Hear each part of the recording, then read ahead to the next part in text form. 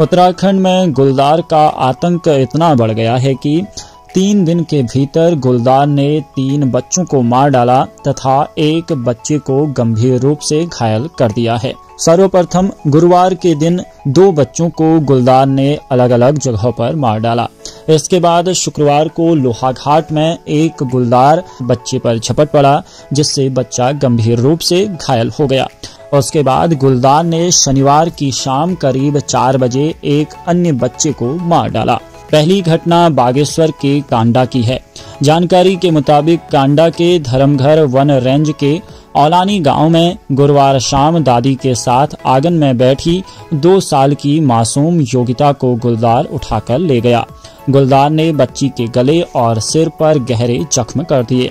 पास में घास काट रही महिलाओं ने शोर मचाया तो वो घर के पीछे मासूम को छोड़कर जंगल की ओर भाग गया। दूसरी घटना नानक मत्ता क्षेत्र के ग्राम बिचवा में गुरुवार को घर के आँगन में अपने भाइयों के साथ खेल रहे तेरह वर्षीय बालक को गुलदार ने मार डाला।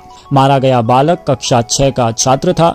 गुरुवार दोपहर करीब एक बजे तेरह वर्षीय गुरप्रीत सिंह अपने दो भाइयों के साथ आँगन में खेल रहा था। गुलदार बच्चे को दोनों भाइयों के सामने गला पकड़ कर खींच कर ले गया। भाइयों के चीखने पर परिजन व अन्य लोग भागे। शोरगुल के बाद गुलदार बच्चे को छोड़कर जंगल की ओर भाग गया। परिजन ग्रामीणों के साथ बच्चे को उप जिला अस्पताल सितारगंज लाए। यहाँ डॉक्टरों ने बच्चे को मृत घोषित कर दिया। वहीं तीसरी घटना लोहाघाट के रायकोट कुंवर गाँव में शुक्रवार देर शाम तीन वर्षीय आरव पुत्र ईश्वर सिंह को गुलदार घर की सीढ़ियों से उठा ले गया।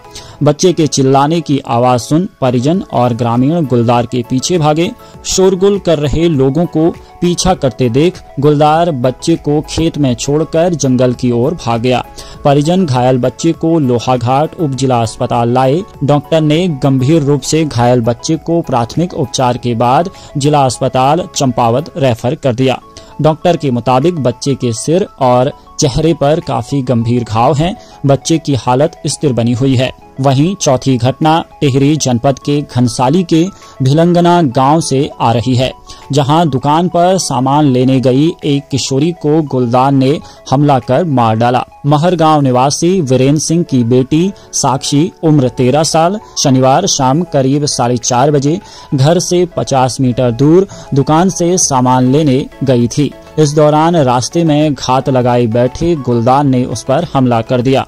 साक्षी ने शोर भी मचाया, लेकिन जब तक लोग वहाँ पहुँचे, गुलदार साक्षी को घसीटकर झाड़ियों में ले गया। घटनास्थल से करीब 50-60 मीटर आगे झाड़ियों में बच्ची का शव पड़ा हुआ मिला। उत्तराखंड में तीन दिन के भीतर चार घटनाओं को अंजाम देने वाले गुलदार पर लोगों ने कड़ा रोष जताया है।